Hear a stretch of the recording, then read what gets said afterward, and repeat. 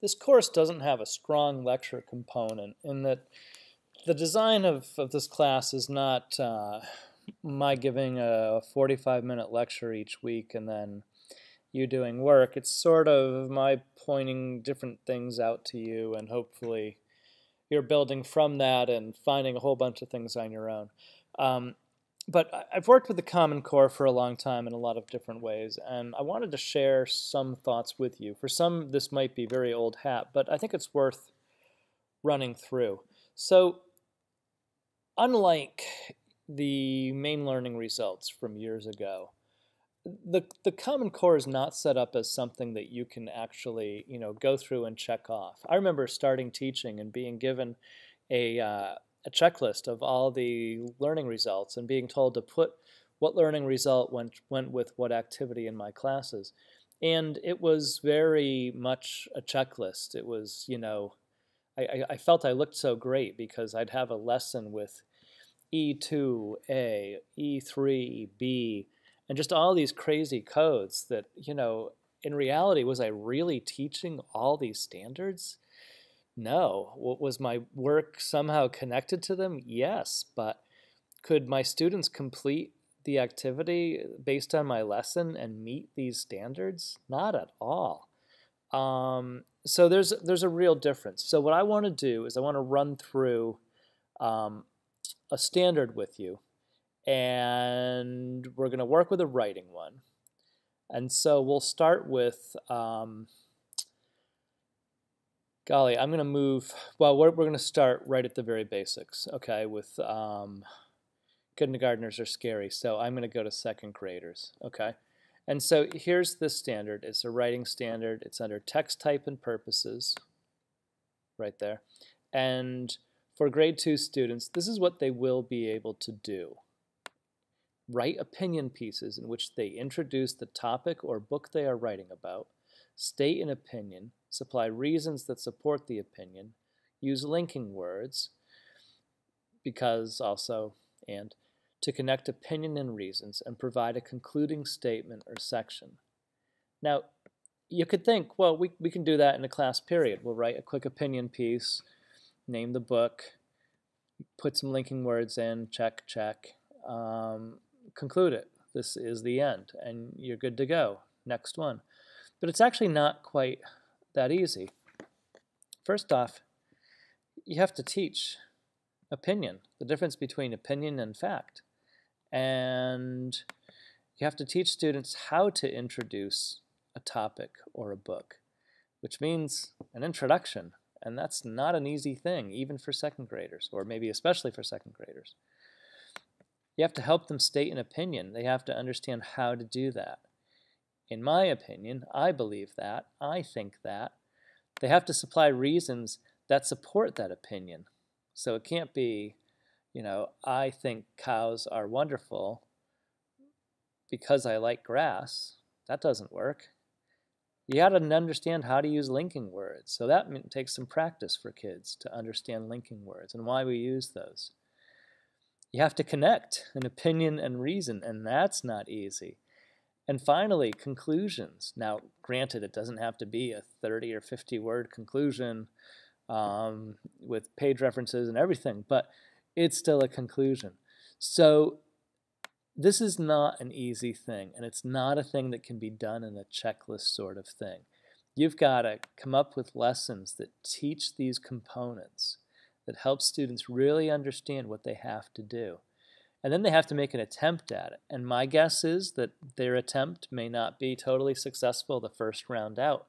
So they've got to go back and work. You'll have to reteach things. They'll have to do more practice on opinion versus fact, maybe, or linking words.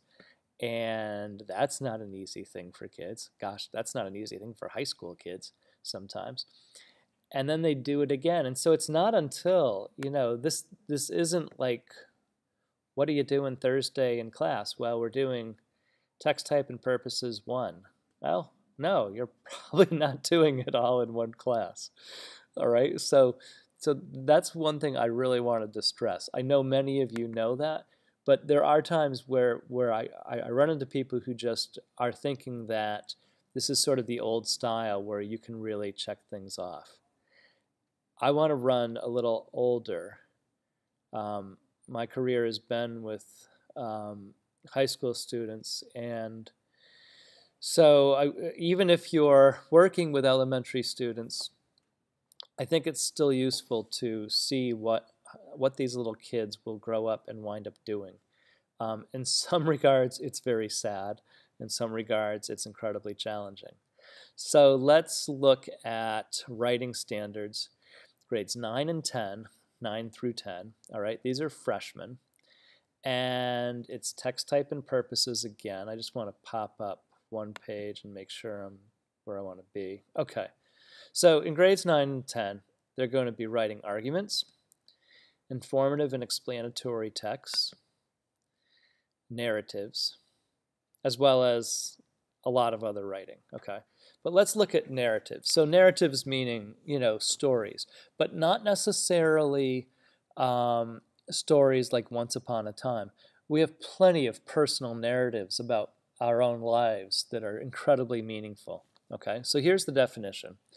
Write narratives to develop real or imagined experiences or events using effective technique, which, what does that exactly that mean? What does that mean exactly? I don't think a lot of people know, well chosen details, and well structured event sequences. So here's what they have to do. And now this is the whole standard, okay? 3A through E. Engage and orient the reader by setting out a problem, situation, or observation, establishing points of view, introducing a narrator or characters, creating a smooth progression of events. Use narrative technique, dialogue, pacing, description, reflection, multiple plot lines to develop experiences, events, and characters. Variety of techniques to sequence events.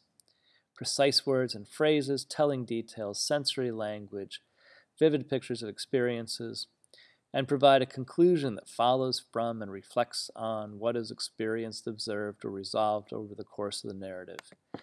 Honestly, I've been writing for years, and this is a huge challenge. This is a challenge for me. But that's what we're, we're expecting grades 9 and 10 will be doing.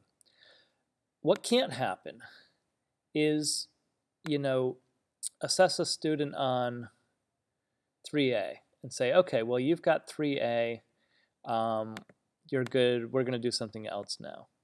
Or, gee, I just saw you, you did a, a short paragraph piece of work and I'm going to use that to check off 3C because this is meant to be one big thing. Now granted, you have to break this up into sequences. You can't just give students this, here's the task, boom, go do this, ha have a good day, we'll collect this tomorrow. You've got to chunk this up, teach these individual components, assess them in small pieces, and prep them so that they can do this big thing. But what this is not designed to do is for you or for any ELA teacher or any teacher for that matter to say, okay, we're going to assess this paragraph on 3E. Let's just write a conclusion and turn that in and I can check you off here.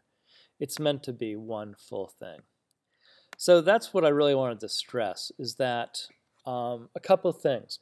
One is that in using these standards, they can't be checklists. It can't be you know, hey, that's a nice short story you wrote. Boom, good dialogue, I'm checking this off. Or we can't just hand kids this and say, okay, your homework is write a narrative about a real or imagined experience. And when you come in Monday, you get standard 3, A through E. We can't do that. Um, we've got to teach components. We've got to use formative and guiding assessments to get kids to be able to build these little steps together. And then we have to develop scoring guides and work with students so that they really understand that here's what you're being asked to do. And you've shown you have the basic skills to put this together. So we'll talk a lot more about this, but I wanted to use these two examples, one from grade 2 and one from 9-10, to just talk a bit about the core and what it looks like. Thanks.